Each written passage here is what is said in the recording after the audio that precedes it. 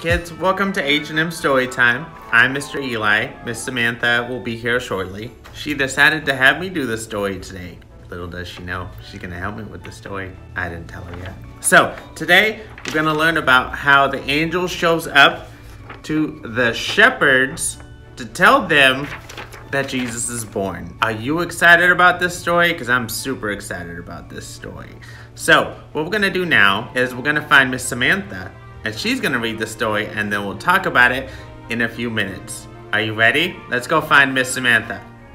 Miss Samantha. Miss Samantha. Miss Samantha. There you are. Hi. Did you have a good little break? Yeah, I was trying to find my hot cocoa. Oh, It's that's okay. important. It is. I'll have some after. Oh, before we get started, did you see my jingles? I found my jingle bells, my earrings, my necklace, and my bracelet. So hopefully you can hear me tell the story. So last time we learned about who? Mary. Mary and the angel, who was scary apparently, told her, do not be afraid. So today, the angels are going to talk to who? The shepherds. What are shepherds? The shepherds are the ones that get paid to watch the sheep. Oh. Okay, let's read about that story. So, angels tell the good news of Jesus' birth to shepherds, found in Luke chapter 2, verses 8 to 20. So, you see the shepherd, and then you see an angel. He looks pretty surprised, so let's find out what happens.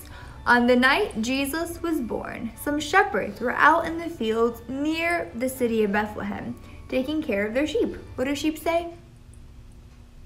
Bah. It was dark and quiet, so everyone cover your eyes, close your mouths. Suddenly the shepherds saw an angel. Everyone open their eyes. The shepherds were terrified. The angel said, Do not be afraid. I have good news for you and for everyone else. The Savior has been born in Bethlehem. You will find the baby wrapped in cloths and lying in a manger. As soon as the angel finished talking, the sky was full of angels. They were all praising God and saying, Glory to God in the highest, and peace on earth. Suddenly, the angels were gone. The shepherds looked at each other. They said, Let's go to Bethlehem and see this baby. So they ran to Bethlehem and found baby Jesus lying in a manger, just as the angels had said. The shepherds were so happy that they told everyone they saw about Jesus. They praised God for sending his son, Jesus. Wow, so the angels always had good news to tell. They told Mary that she was going to be the mom of God's son. They had good news to tell the shepherds that Jesus was here, the Messiah, God's son was here to save the world. Miss Samantha, have you ever seen a bunch of angels sing in the sky before? I've never even seen one angel, but apparently I would be scared, so maybe, I don't know. They would have to tell me to not be afraid. But what would you do? Probably just stare. I don't know. What would you do? No, I don't know. You know, some people in the Bible fell down. They were so scared to see that little angel or big angel, I don't know. They fell on the floor, and the angel had to say, Do not be afraid. Get up. I got to tell you something. So I don't know. Would be scary. All right, so last week we learned a verse about the angel telling Mary good news. And this week we have a verse of the angel telling the shepherds the good news. This one is in Luke chapter 2, verses 10 and 11. The angel said, I bring you good news of great joy. A Savior has been born. He is Christ the Lord. So this has a lot of good parts. Let's practice together. Ready? Ready? Ready? Okay. Luke 2, verses 10 and 11. Luke 2, verses 10 and 11. The angel said, The angel said, I bring you good news I bring you good news of great joy. of great joy. A Savior has been born. A Savior has been born.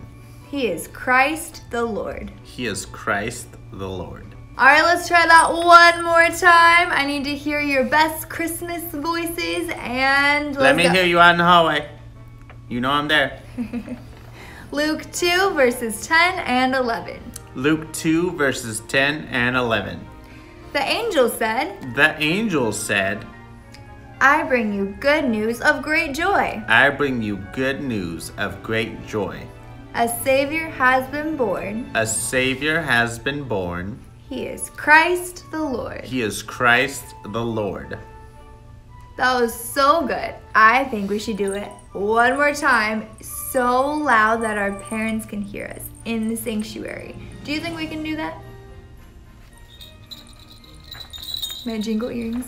Okay, let's try. Ready, set, go. Luke 2, verses 10 and 11. Luke 2, verses 10 and 11.